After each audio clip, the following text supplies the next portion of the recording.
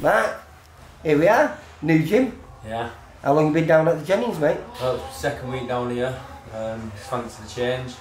Yeah. And, um, Mike had us down, done some pad under a few sessions. Well, done a week with him.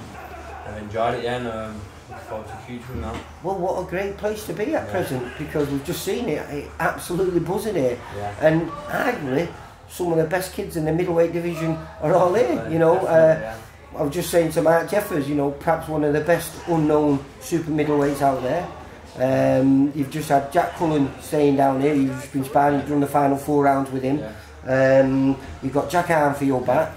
You know, and obviously yourself. Yeah, the sparring mint down here. Um, not really gonna have to be travelling through it. We've got it all in there, all in house. Yeah, uh, and obviously, you know, we, there was there was a fight last weekend with Mick Hall and uh, Denzel Bentley. Yeah.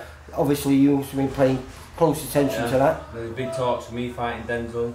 Just waiting for the for the date now. Hopefully, sometime in September, October. And and that it, the winner of that fight then is scheduled to fight the Andrew Robinson for the British title. Yeah, yeah, yeah. So you get your second crack at it Yeah, definitely. against a kid that I seen you dismantle over six rounds. Yeah, yeah. I mean, it was tough, it was hard, but no one had ever stopped him before. No one's ever stopped him since, actually. Nah, yeah. And uh, you were the first guy to do it. Yeah, Andrew Robinson, like, pretty awkward, like, all pretty awkward, like. Well, I think it took you a couple of rounds to catch Yeah, up with yeah. him, but when you did catch up with him, you slowly dismantled him, and then did, did, did you retire or I can't remember. no, the ref stopped it. The ref stopped it, yeah. Yeah. So I presume, come through Denzel Bentley, then you're going to be very confident that that British title you've been Definitely. Waiting for for such a long time. I know, yeah, it's been a while, hasn't it? Ten years of pro man. Yeah. But I think people only really known about you perhaps the last say four years, three years, really. I had a proper stop start career then I when I was Mhm. signed up to Gary Hyde in Ireland. I've, obviously, I just wanted to build my career here back in Manchester. Yeah. And he took me out to Ireland. And um. When you talk about building your career in Oldham, you sell that place out, don't you, mate? Yeah, I mean, that's a night that everyone comes out to watch it. Five, six, and tickets in there. Only always nine in it. I remember when you and Akib uh, both fought on there and you sold the place out. The first time we had it all opened up, it Yeah, was yeah. absolutely hammered. Yeah, it's a good setup there back at Oldham. It is. And Yeah. a great fan base for you, mate. Yeah, yeah. But, like I say, you know, um, you're at a stage now where I think the rebuilding's been done since that loss to uh, Liam Williams. I think that have been great for you when you didn't you help him prepare for the last couple of his fights?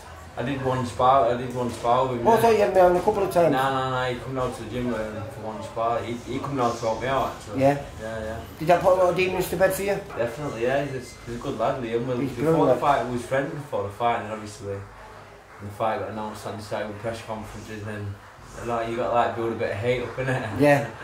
to to um, get into the fight, innit? But yeah, it's- we're friends again now. But I, I think it'd be fair to say it wasn't you on that night.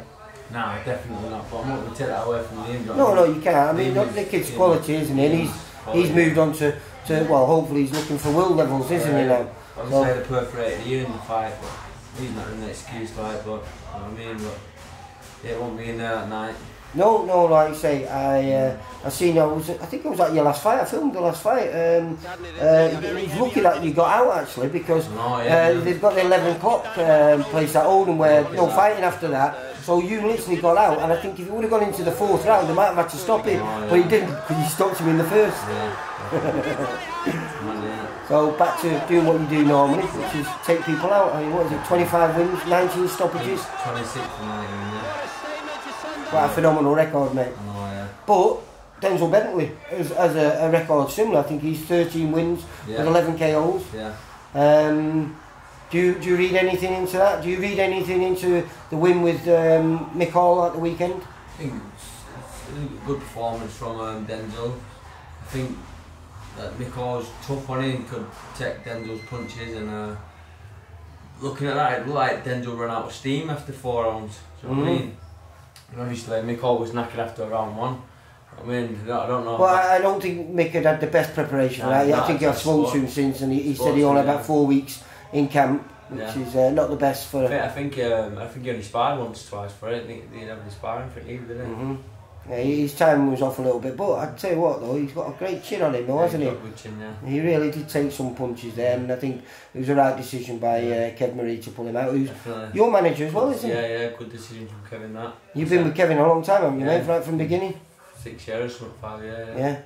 So um, listen, good luck for whatever comes next. Like I say, if the fight comes off with Denzel, uh, Denzel, Denzel Bentley, it should be an absolute cracking war Definitely. and set you up for that British title, which I know you, you, uh, you, you really, really do want, and I'm pretty sure you'd be confident of winning. Definitely. Definitely. Then if you do, really big fights, then it, mate. Yeah, definitely. Elevated into the world team, then uh, you have to be, don't you? If you're British Yeah. champion, you've got to be on the world team. Definitely, yeah. Get um, a few defences of that, but British then move on. Brilliant. All right. Well, listen. Hope you enjoy it down here, mate. Seems like you've really settled in well, and uh, Mike and Dave are, are great uh, trainers, aren't they? Definitely. All right, kiddo. Take care, mate. Bye.